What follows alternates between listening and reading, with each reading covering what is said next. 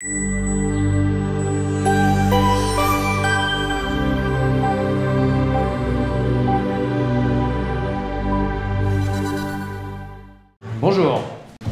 Je, ne sais pas comment vous trouvez, mais moi, après l'exercice de Mathieu, on parlait tout à l'heure de, vibration. Un petit euh, accident, mais trop vite. En tout cas, je, voilà, je, vibre, moi. Euh, donc, je, n'ai pas beaucoup de temps. Et des petits soucis avec cette télécommande, donc c'est pas grave, je vais enchaîner.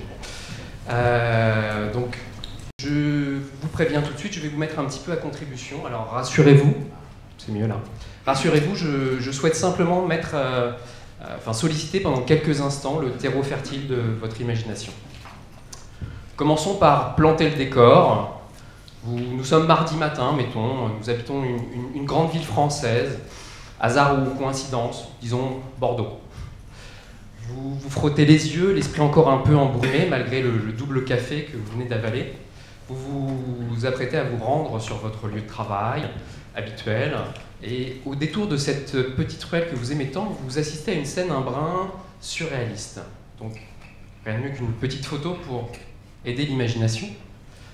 Appuyez sur le mur de cette petite ruelle qui pourrait faire passer votre trajet habituel pour euh, une promenade bucolique, se trouve un homme, la trentaine, euh, les difficultés à mener une télécommande,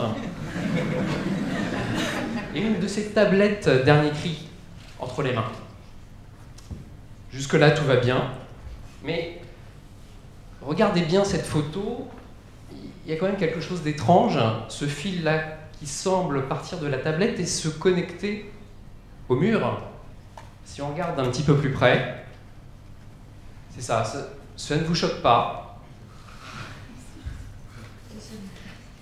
Bon, je vais vous aider un peu, ce serait mentir de dire que je ne suis pas là pour ça.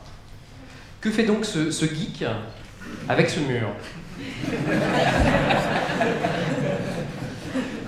Dans ce mur, il y a donc une clé USB, une dead drop. Je n'ai pas rêvé cette scène, ce serait encore mentir que de vous dire que je n'en suis pas à l'origine. J'ai installé cette clé dans l'étonnante rue des Thermopyles, à Paris. Cette photo n'a subi aucun trucage, Bon, en dehors du fait peut-être que la tablette à la pomme dans sa version officielle ne permet pas vraiment de lire une clé USB, donc c'est un détail, passons, ce sera pour euh, la beauté de l'image. Euh, ce projet, dans son ensemble, est celui d'un artiste allemand nommé Aram Bartol. Donc, le projet s'appelle les Dead Drop. Le, le concept du projet est très simple une clé USB, un mur, une solution de fixation rapide, et tout tour est joué. Vous m'avez bien compris, installer une clé USB dans un mur et permettre à tous de s'y connecter. Dans quel but? Partager, inviter les uns, les autres et même plus encore à échanger des données. Simple, ludique, accessible, légèrement subversif à l'époque des lois Adopi. Bienvenue dans l'ère des dead drops. Une utopie de geek et d'artistes, me direz-vous. Je vous répondrai oui, vous avez raison, mais cette utopie est bien réelle. Plus de 450 clés sont installées aujourd'hui dans les murs des grandes villes de plus d'une trentaine de pays, ce qui donne à peu près plus d'un téraoctet disponible et accessible à tout le monde.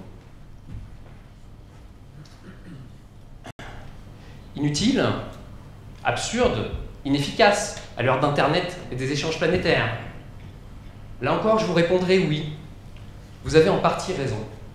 Et quand on voit l'ampleur du projet, quand on voit le nombre de clés installées, quand on voit le nombre de pays concernés, quand on pense un peu à toutes ces tentatives de censure dont on a parlé tout à l'heure, de censure ou, de, maîtrise euh, du réseau des réseaux, Internet, avouez que ça fait quand même un peu réfléchir.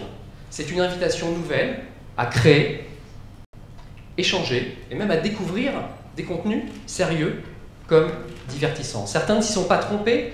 Vous avez par exemple un collectif musical qui a installé il y a très peu de temps trois clés dans les murs de Paris et qui s'en sert comme outil de promotion pour euh, diffuser en exclusivité leur dernier album.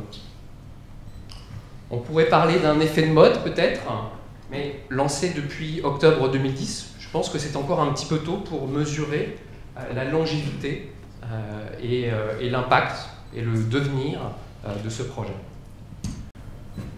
Voilà, c'est pour moi un, un, beau projet, c'est une, une, belle occasion pour en fait échanger ensemble. Je vous remercie de votre attention.